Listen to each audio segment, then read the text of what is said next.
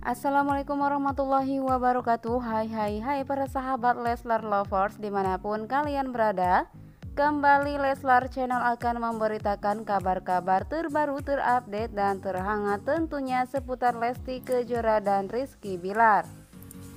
Namun bagi para sahabat yang baru menemukan channel ini Jangan lupa untuk mengklik like, komen, serta subscribe dan hidupkan juga tanda lonceng notifikasinya supaya sahabat tidak ketinggalan kabar dan info terbaru dari Leslar Channel. Oke baiklah sahabat mengawali perjumpaan kita kali ini datang dari akun Instagramnya Kak Wawan Potret ya. Yang mana pada unggahan Kak Wawan Potret mengunggah postingan foto dedek dan kakak. Tuh Masya Allah cute banget nih di sini terlihat tatapan kakak ke dedek tuh Masya Allah. Bikin meleleh ya. Di sini dari para warganet pun mengatakan seperti dari Etelvina underscore putrinya Lesti Bilar mengatakan tatapannya dalam banget sedalam cintaku padamu uhuy pokoknya ya. Dan tanya itu komentar lain juga datang dari Ed apa sih sayang underscore cute mengatakan keluarkan lagi kak vitamin-vitamin lamanya. Kita akan tetap makan kok katanya ya. Tatapanmu senyumanmu masya Allah pokoknya ya. Lanjut kabar berikutnya di sini datang dari akun instagramnya Lesti Fashion yang mana di sini dalam unggahannya mengunggah postingan harga dompet dari Lesti Kejora ya yang bermerek Louis Vuitton ya di sini harga dompet Dede senilai 8.262.938 rupiah. Masya Allah bikin geleng-geleng ya harganya. Di sini dari para warganet pun merasa uh, kaget dengan harga dompet Dede Lesti ya. Seperti dari akun Instagram @wangmirizki wang mengatakan Hadeh, jiwa dompet gue 50.000 menangis katanya ya, masya Allah.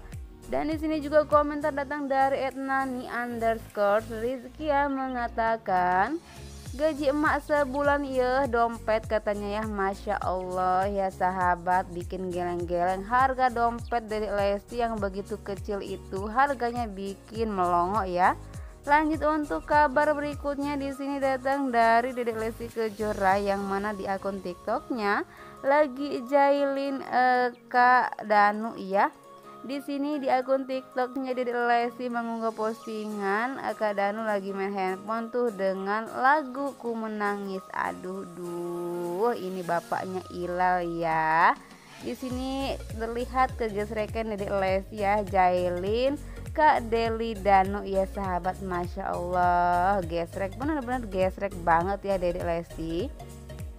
Yang mana pada unggahan ini uh, di sini ada komentar dari @debbie underscore gopret mengatakan Ilal nggak diajak lagi ya dek? Kasihan tuh omnya katanya ya. Komentar juga dari @pasha underscore 15 juga mengatakan kesian bapaknya Ilal. Hahaha Masya Allah ya Oke lanjut untuk kabar berikutnya. Di sini datang dari akun Instagramnya Dedek Lesti Kejora yang di tag oleh akun Instagramnya @nonararabatik yang mana di sini postingan tersebut Masya Allah cantik banget Dek Lesti ya memakai baju batik dari Nona Rara Batik ya sahabat luar biasa keren banget ya.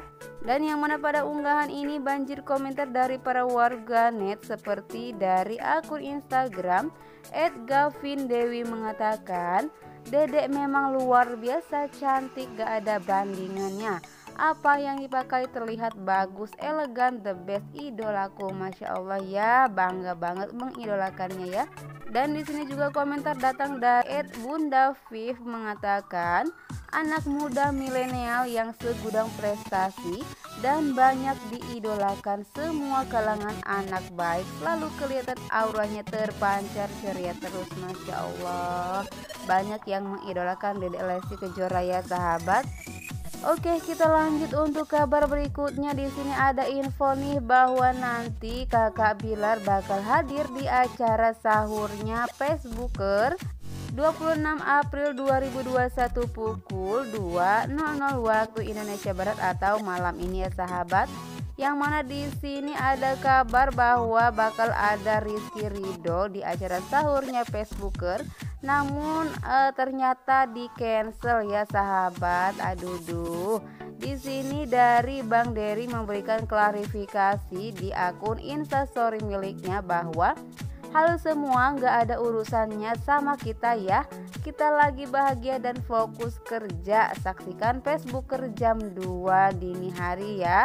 Dan yang mana pada unggahan ini dari para warganet pun memberikan komentar seperti dari @2043 underscore Sami mengatakan Noh udah diklarifikasi sama Bang Dery Mereka nggak ada sangkut pautnya. Mungkin pihak antv-nya yang nggak enak hati, ayo kita dukung Leslar support karya-karyanya. Dan tanya itu komentar lain juga datang dari akun Instagram @farah.zairina mengatakan, Tuh kan ya udah kan gak ada urusannya sama mereka katanya ya.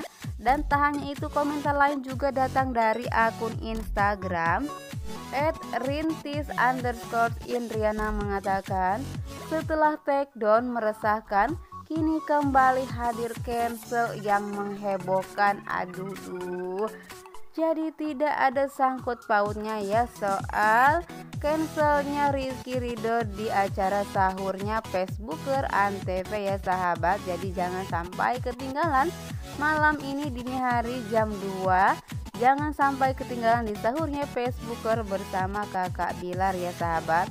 Tentunya doa terbaik untuk Dedek Lesti dan kakak Rizky Bilar. Semoga selalu diberikan kesehatan, kelancaran serta kesuksesan dan dimudahkan segala urusannya ya sampai hari H tentunya.